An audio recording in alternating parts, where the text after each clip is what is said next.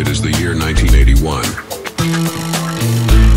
In a land where shifting sands hold ancient secrets and modern mysteries collide, one man stands between chaos and order.